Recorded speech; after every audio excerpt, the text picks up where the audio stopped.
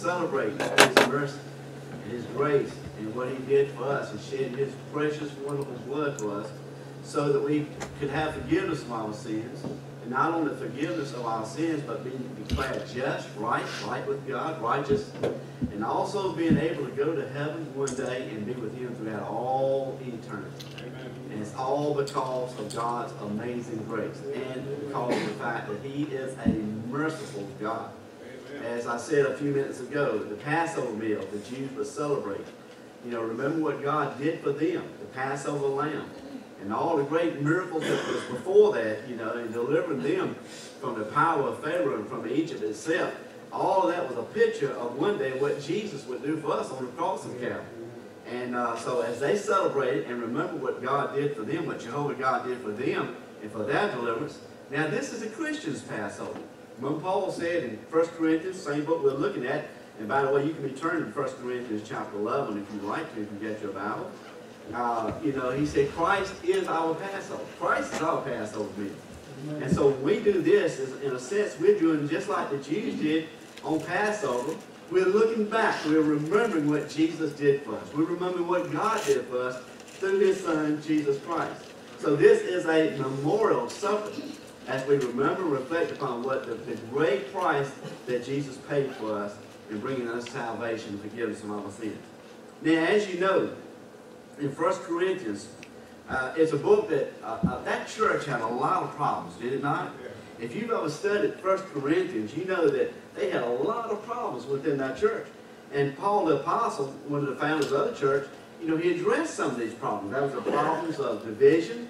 Some was, you know, they were divided who to follow. There was some was saying, I'm going to follow, you know, Peter. I'm going to follow Apollos. I'm going to follow Paul. Some said, well, I'm just going to follow, let's I'm just going to follow Jesus. So there was, there was divisions in the church. There was schisms in the church.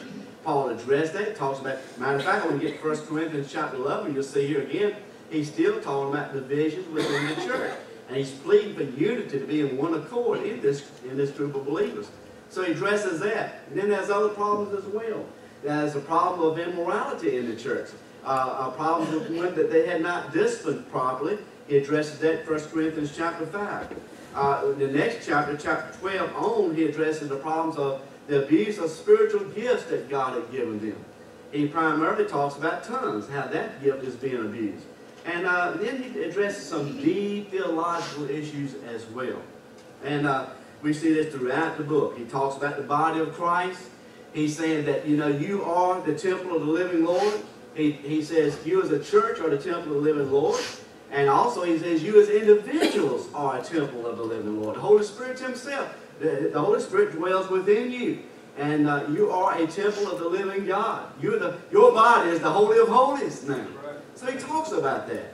And of course he says as well, plead for unity. He doesn't like to see this division within the church, so he talks about that. He, and he makes this case, he says, you know what? If you by your divisions destroy the body, of the church of God, he says God will take care of you. He'll destroy you as well. So all these problems are addressed. But then he gets to chapter 11. And he talks about some problems that they were having associated with the supper of the Lord. Uh, and what he's talking about here, as we look at this chapter, uh, the second part of this chapter, he talks about some of the problems that was going on when they would have a, a fellowship meal. In that day, they had a fellowship meal. It was called the Agape Love Feast. That's what it was called by the church, the agape love feast. And the, the believers in that day, uh, when they had the Lord's Supper, usually they would have a meal, a fellowship meal as well. And a fellowship meal, they would just gather, they would eat, and they would just have a good time of fellowship. But there were certain things that was happening in this meal that was partaken of that just was not right. And he addresses that. And he says, beginning with verse 18, let's look at that here. He says, first of all, when you come together in the church, I hear that there be divisions among you. And I partly believe it. For there must be also heresies, and the word means schisms, factions, divisions here among you, that they which are approved may be made manifest among you. He says, really, when these schisms begin to happen, and you see these divisions over these schisms and these arguments, these debates that's going on in the church, what's going to really happen is the phonies are going to be revealed, and the true believers are going to be revealed as well. And that's what he says, what it means that when he, look, when he quotes that in verse 19. But then he says this in verse 20. When you come together, therefore, to one place, this is not to eat the Lord's supper. For in eating, everyone takes before other his own supper. One is hungry, another is drunken. What have you not houses to eat and to drink in? Or despise ye the church of God, and shame them which have not? What shall I say to you? Shall I praise you, or shall I commend you in this? He says, Certainly not, I praise you not. What was happening, and you can read, if you've got a study Bible, you'll read a footnote, but it'll tell you something about this. But what happened was something like this. When they had that fellowship meal, they would also have a practice of bringing in also portions for the poor that was in the church. And also, they would make sure that the poor that was in the church, they would make sure that they would get something to eat as well. And everybody would meet together and become one. But the problem was in that day, some of these believers, you know, wouldn't paying attention, wouldn't care about the poor. They was only looking out for old number one. I would say it something like this, and you got to be kind of careful right here. It's like when you have a fellowship meal sometimes, you know, and some people run over several people get to the fellowship meal first and not worried about anybody else. That is the same thing that was happening right here. As a matter of fact, let me read you Dr. Ryrie's footnote, what he says here about this. He said the early Christians held a love feast in connection with the Lord's Supper, during which they gathered for a fellowship meal. They sent and received communications from other churches, and also they collected money for widows and orphans. Apparently, some of the wealthier members were not sharing their food, but greedily consumed it before the poor showed up. So you see what I'm saying? Run to the table, don't worry about anybody else. I'm going to get fed whether anybody else does not. If the purposes of the love feast were not being realized, it was better to eat at home. He says you're misbehaving, you're misusing, and you need to correct this and do it right. See what Paul was doing? He's very direct, right? But then right after that, he goes on to share what the, the correct practice of the Lord's Supper itself. He addresses that. He begin, we'll begin with verse 23. He says, For I have received of the Lord that which also I delivered unto you. In other words, I believe he had a special revelation with the Lord Jesus Christ concerning the celebration of this meal. That the Lord Jesus, the same night which he was betrayed, took bread, and when he had given thanks, he brake it and said, Take, eat, this is my body, which is broken for you. This do in remembrance of me. And the first thing you need to realize is this. I said it a few minutes ago, but I'll say it again. This is a memorial supper. This is not, as some practice today, especially Catholics believe, and it's, it's a practice they call transubstantiation. You ever heard of that? It's a long word, but what it simply means is when they partake of the Lord's Supper, they actually will say a few words and believe that the elements that they partake of will actually become, become the body and the blood of the Lord Jesus Christ. That's what's called transubstantiation. They would say a few words and then they would actually believe that the elements would become, listen, the body of Jesus Christ himself. Now when Jesus inaugurated the supper of the Lord, Matthew chapter 26, he was still sitting there with them when he says, take, eat, this is my body, right? So what is Jesus saying? Jesus is simply saying this. When you come together as a group and you celebrate this food, when you take the bread, uh, he, he says, you need to remember me, what I did to you. This is going to represent my body. When you drink the wine, the juice, this is going to represent my blood. Now, Jesus was still there with them, right? So he was not torn apart. He was not there in pieces. He was still right there in person with them when he inaugurated that meal.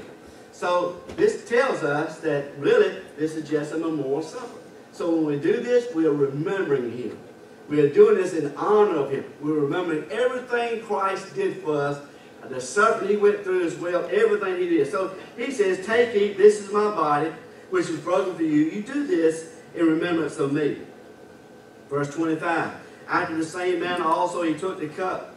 This cup is the New Testament in my blood. This do you as you often as you drink it in remembrance of me.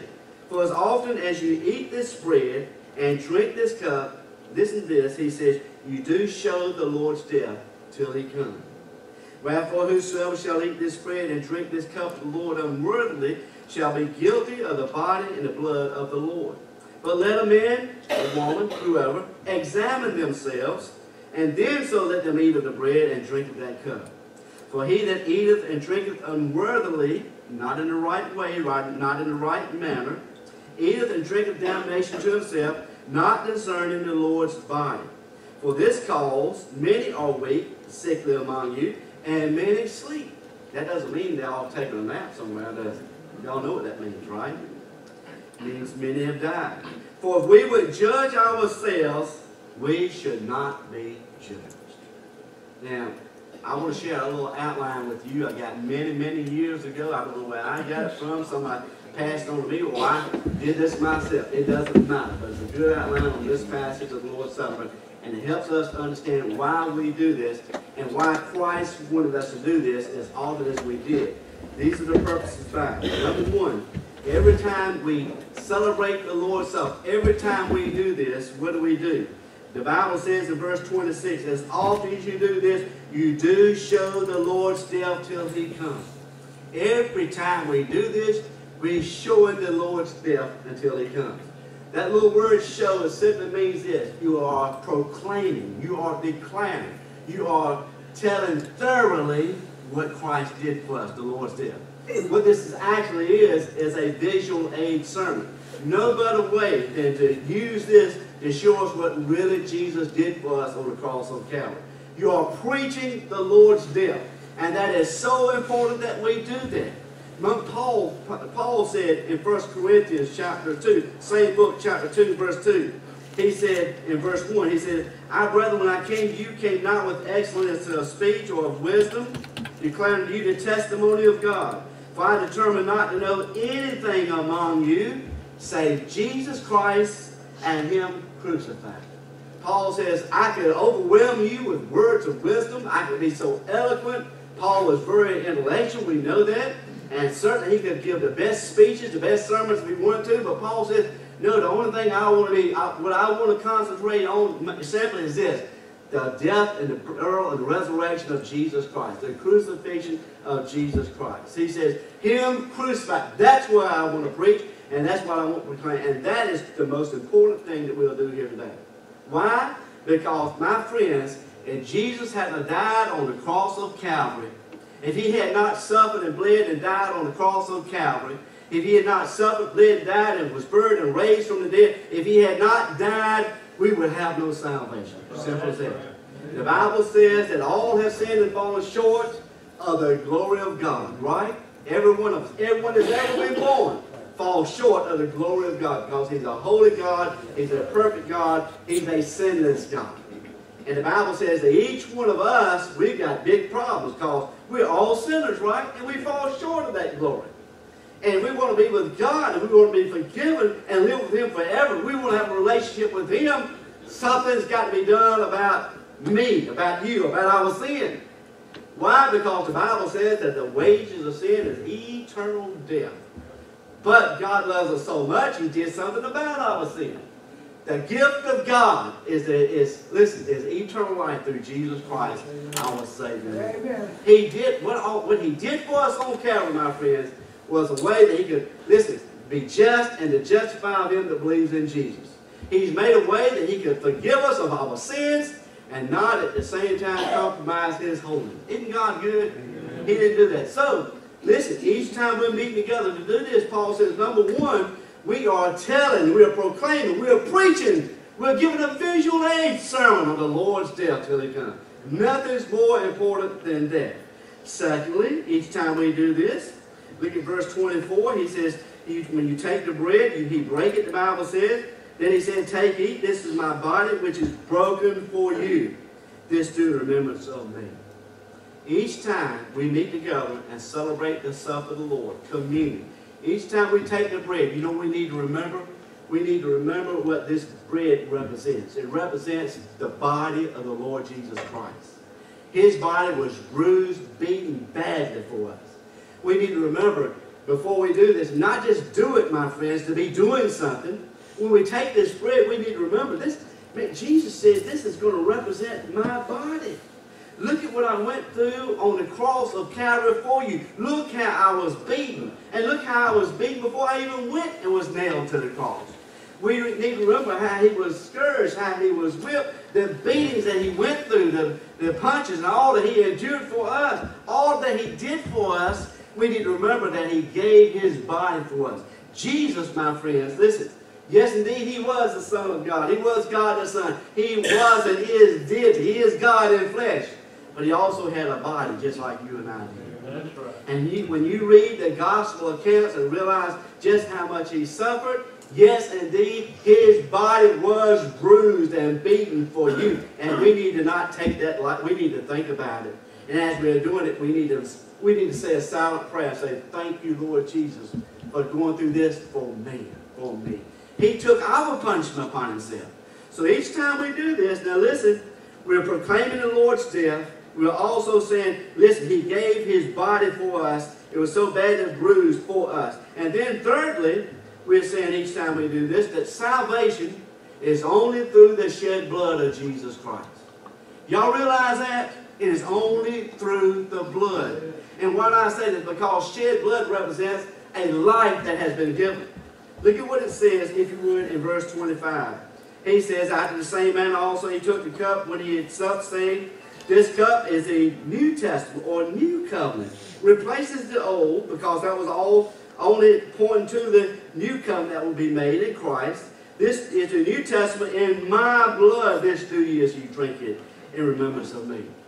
Each time we celebrate the supper of the Lord, celebrate communion, the Eucharist, we're saying to all those who assemble with us, we believe as a church body that salvation, forgiveness of sins, eternal life is only because of the precious shed blood of the Lord Jesus Christ. Amen.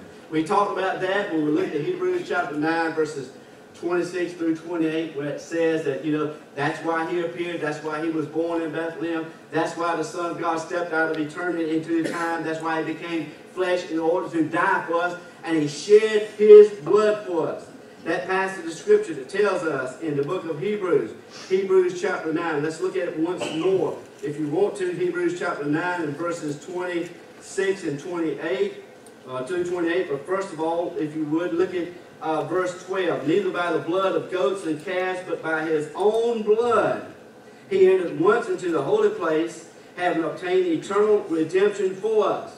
For the blood of bulls and of goats and the ashes of a heifer sprinkled unclean sanctified to the purifying of the flesh. Verse 14 says, How much more shall the blood of Christ, who through the eternal Spirit offered himself without spot, to purge your conscience from dead works to serve the living God. Wasn't possible, wasn't pleasing to God. Blood of bulls and goats and all those offerings could never, listen, take away our sins. It would only cover them temporarily. One day, Jesus was going to come, which these were pictures of. Jesus is going to come, and when he dies, he's going to pour out his precious shed blood that's going to be the eternal forgiveness of all of our sins. And it will actually do what John the Baptist said. It will take away the sins of the world. Amen? And 1 Peter chapter 1, verses 18 and 19 even says this. Peter says, For as much as you know that you were not redeemed with corruptible things as silver and gold from your vain conversation received by tradition from your fathers, but with the precious blood of Christ, as of a lamb without blemish and without spot. So again, folks, listen, when we meet together, when we celebrate the supper of the Lord, we are saying to all those who are here, we are saying to ourselves, we're reminding ourselves of this, we're remembering everything that Jesus did for us, but we're also saying this, that I realize and understand that salvation is only through the blood of Jesus Christ. Yes. Paul actually says in chapter 3 of uh, Romans, the book of Romans, he says we're saved by faith in the blood of the Lord Jesus Christ. You've got to put your faith in the shed blood of the Lord Jesus Christ. It's only through the blood of Christ that we have forgiveness of sins. And so, this is what we're saying here today, amen? We're saying we believe that, and we're saying also we're trusting the shed blood to pay for our sins personally. And then we do something else as we celebrate the supper of the Lord. We're doing something that's very important here.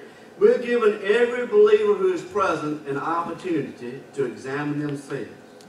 And not only the believers that's present, but especially those that may not be believers of faith. And this we always remind everyone who gathers with us. Now, you might be here, you might not be a member of this fellowship.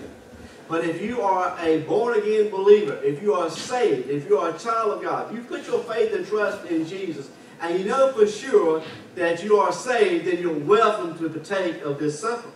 But if you're not a believer, if you've never trusted Christ, listen, if you've now put your faith in the shed blood of Jesus Christ, then out of respect for us and the church and the corporate body of Christ, you know, I wouldn't partake of it. I just wouldn't do it. But if you want to make sure that you listen, if you do, if you do not know Christ, but if you want to come and know Him this morning, now's the opportunity to do that. You have an opportunity. Look at what it says in verse 28 again. It's in oh, verse 27. Wherefore, whosoever shall eat this bread and drink this cup of the Lord unworthily shall be guilty of the body and the blood of the Lord. That's one reason I will not ever participate in what they call floating communion services. Because actually could be some people in that that's just doing this out of tradition. It's just something to do. It's part of the church year. It becomes a ritual, if you will, with no meaning behind it. And I think that's what it means when it says you're doing it unworthily. Okay? So it, when we do it, we want to make sure it's meaning behind. We're doing it the right way. Uh, not only the right way, but we're doing it for the right reason as well. We're remembering what Christ did for us. But then he says in verse 28, look at this, beloved. But let a man, let anyone who's partaken of this supper, examine himself, and then so let him eat of that bread and drink of that cup. I'll start to give a message at one time when I said this. Each time we partake of the Lord's Supper, as we examine ourselves, we ought to look upward, we ought to look inward, we ought to look around. Number one, if you never have trusted Christ as Savior and Lord, listen, this is an opportunity to do that. Look upward. Look to Christ. Look at, look at what Jesus did on the cross. When he died on the cross, when he went through all this punishment that I've just been describing, my friends, he did this for you. You understand that? For God so loved the world that he gave his only begotten Son. That whosoever believeth in him should not perish, but have everlasting life. God loves you. God loves you so much that he sent his son to die in your place. And all he wants you to do is, listen, to believe that, believe the gospel, you know, acknowledge that you are a son and you need the Savior. And by doing that, then just turn to him and receive him as Savior and Lord. That's what the thief on the cross did, did he not? Remember how easy Jesus made it for him? The thief on the cross said, Oh Lord, remember me when you come into your kingdom. And Jesus said, Today, listen, you will be with me in paradise. Why? Because he just looked to Jesus down that cross and realized he's exactly who he claimed to be. He's the Savior. He's the Lord. He's the Christ. He's the Messiah. And God wants you to do the same thing. He wants you to believe and trust Him. So if you're here today and you've never trusted Christ, you can do it right now. We're going to have prayer in a moment. You can turn to the Lord right now. You can just say something like this, Oh God in heaven, listen, I admit to you that I am a sinner, and I just heard that in spite of that, you still love me. You say it in your word that, that you, you still love me. Even while I'm a sinner, you love me. Romans chapter 5. And because of that, you sent your son Jesus to die in my place on the cross of Calvary. So right now, I'm going to receive Jesus. I'm going to believe on Jesus. Right now, I'm inviting Jesus to be my Savior, Lord. If you'll do that, my friends, He'll save you right where you're sitting. He'll give you a free, full pardon of your sins. He'll save you the moment you do that if you believe it in your heart and just trust Christ. But also, as it says here, this verse of Scripture, let a man examine himself. I think we ought to look inward as well and outward as well, don't you? We ought to look at our own selves as believers. We ought to just look at ourselves. And if there's anything in our life that the Spirit of God is dealing with us about, perhaps we've let some nasty habits come into our life. I don't know. But we know that it's sin in our life and it shouldn't be there. And the Spirit of God is, is telling us that it should not be. We need to do so, we need to deal with it. Amen? The Bible says in Psalm 139, verses 23 and 24, it says that we need to examine ourselves. The psalmist is pleading, I think it's Psalm 139. I want to look at that real quick. 139, verse 23 and 24. The psalmist says, Search me, O God, and know my heart. Try me and know my thoughts. And it says, See if there be any way in me, and lead me in the way everlasting.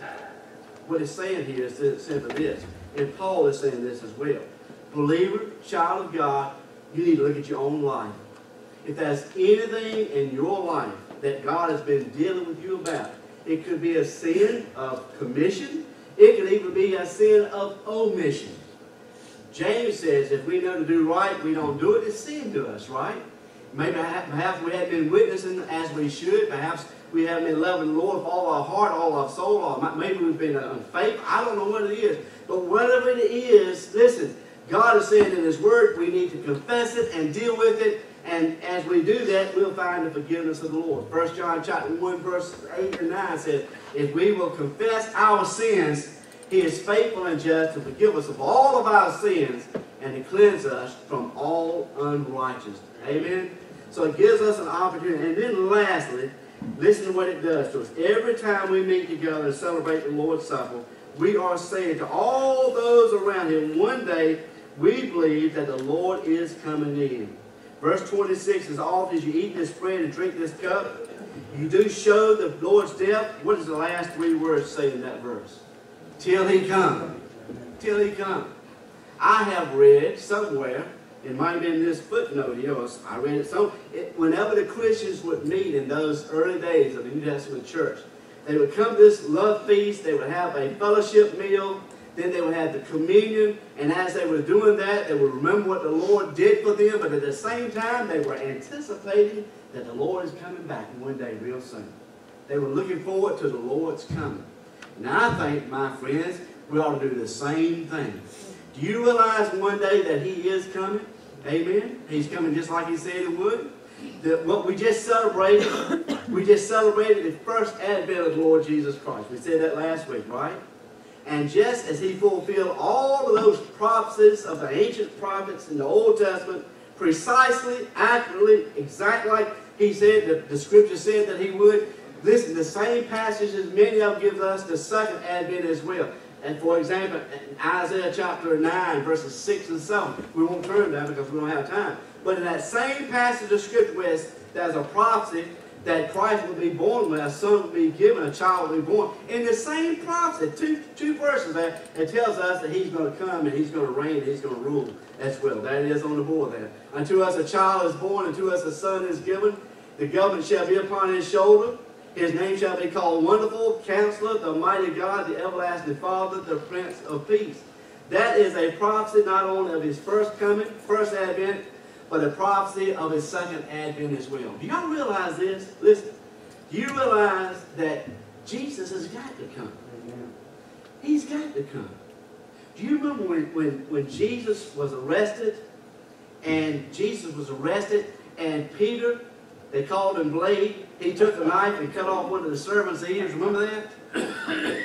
and what did Jesus tell Peter to do? Put up your sword. Don't you realize that these scriptures has got to be fulfilled. Every, this has got to happen to me. Jesus knew all things that would happen to him. And he told them, these things have got to happen to me. Amen. He said that, didn't he? He said to the two disciples on the Emmaus Road, don't you realize, don't you understand all these things? They must have happened because they were prophesied in the old, in the old scriptures. So what I'm saying is this, the same prophecies that gives us the promises of his first coming also tells us that he is coming again. So he's got to come for us. And the way it looks today, I believe he's coming soon, don't you? So each time, listen, we celebrate the supper of the Lord. We're saying to all assembled, listen, he is coming again. Are you ready? Let's bow heads. Let's bow heads. Every head bowed and every eye is closed and no one is leaving and no one's looking around. We're going to have a serious prayer time now and give you this opportunity to examine yourself. First of all, let me speak to you. You may be here today, you may not be a believer. Never trusted Christ, never been born again. You're not saved, and you know this. God knows this. And God's been speaking to your heart, been moving upon your heart. He's been dealing. With you. He has been pleading with you, convicting you and calling you to come in. But you know you haven't, as of yet, trusted Christ. You've just heard the gospel as I shared it to you this morning. What better time than right now, right now, to turn to Him and trust Him and invite Him to be your Savior and Lord. It's so simple. It's so easy. All you have to do is call upon him. And if you'll call upon him, he'll save you. Because the Bible says, whosoever shall call upon the name of the Lord shall be saved. He'll save you right now. Just go to him and say something like this. Father in heaven, Lord God in heaven, I admit to you that I am a sinner. And I've fallen short of your glory, just like your word says. And I realize that I cannot save myself. And so I know that, Lord, that I admit to you that I am a sinner. But I have heard that you still love me. And you love me so much that that's what this is all about. What we've been hearing this morning. That you sent your son Jesus to die in my place, in my room, in my stead. And right now, I trust Jesus. I believe in Jesus. I believe that he died in my place. I believe, Lord Jesus, that you died in my place. I believe that you shed your blood, just like we've heard this morning. Just like what your word said, we, I believe that you died. I believe that you was buried. I believe you was raised again the third day, just like your word says. And you'll save any who call upon you right now. So, Lord Jesus, I'm calling upon you to save me right now. Thank you, Lord, for saving me. You might be a believer here today. You might be, you need to examine yourself. You might need to look inward. If there's anything in your life that, that you know that God's been dealing with you about that should not be there, by the time right now to confess it to the Lord. It could be, maybe it could be an attitude. It could be a, uh, you know, some attitude of unkindness, unforgiveness. Lord, you know what it is. God's been speaking about it. By the time to right now to just confess it to Him. It might be problems with another brother and sister in the, in the fellowship. I don't know. But you need to get make that right with God right now. You need to come clean, confess it. Just say something like this, Lord, you know you've been speaking to me about this. I know it's not right, but I'm confessing it to you right now. It's sin. I'm just asking you to forgive me of this sin. And I'm going to make it right. I promise you. If it's, if it's a problem I have with another believer, if there's unkind, unforgiving spirit, whatever it is, I'm going to make it right with them. Because, Lord, I know that if I do not do this, and you're dealing with me about these matters, it is simply too dangerous and risky because I do not want to face this with you. So thank you for your forgiveness, and I trust you for that forgiveness. And I thank you.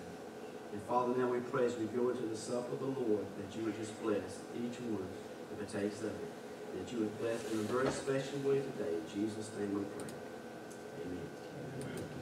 Amen. The Bible says